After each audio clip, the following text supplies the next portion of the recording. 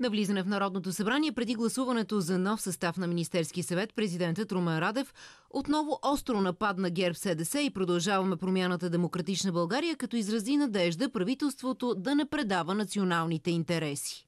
Обществото ни те първа ще осмисля процесите около акуширането на тази коалиция, защото тя обезсмисли изборите. А изборите са основата на демокрацията. Държавният глава припомни как Борисов убеждаваше избирателите си да гласуват за него, защото от продължаваме промяната са съсипали държавата. Днес господин Борисов им подарява цялата власт.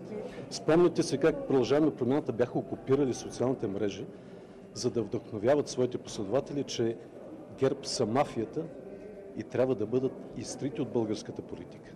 Днес те споделят властта с ГЕРБ. Радев остана категоричен, че политиката не е само математика и интереси за формиране на мнозинство.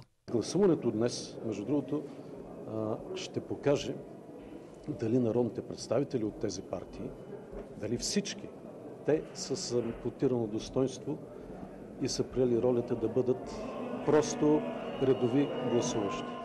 Президентът не дочака клетвата на новото правителство и напусна Народното събрание. Аз съм се клел да служа на народа си и не мога да приема тя да бъде един формален акт. Те засягат дълбоко устоите на демокрацията и на морала в политиката.